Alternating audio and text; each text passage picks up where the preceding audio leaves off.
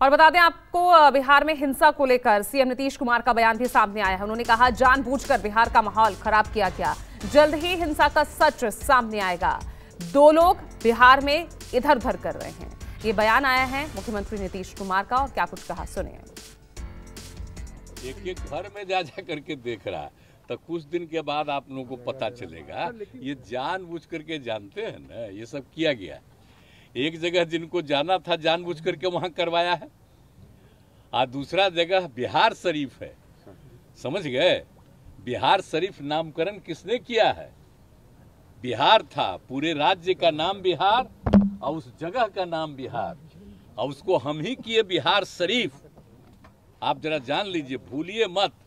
तो उस बिहार शरीफ में जो धंधा करने का कोशिश कोई किया है, ये सब पता चलेगा कुछ दिन के बाद। थोड़ी देर पहले हम नीतीश कुमार को भी सुन रहे थे बिहार के सीएम उन्होंने कहा कि बिहार में हिंसा पर नीतीश कुमार ने जो कहा है वो हम आपको बता देते हैं। जानबूझकर बिहार का माहौल खराब किया गया है ये सीएम नीतीश कुमार कह रहे हैं। जल्द हिंसा का सच जो है वो सामने आ जाएगा। उन्होंने कहा कि एक से दो लोग ऐसे हैं जो इधर उधर कर रहे हैं।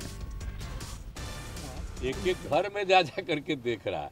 तो कुछ दिन के बाद आप लोगों को पता चलेगा ये जानबूझ करके जानते हैं ना ये सब किया गया एक जगह जिनको जाना था जानबूझ करके वहाँ करवाया है।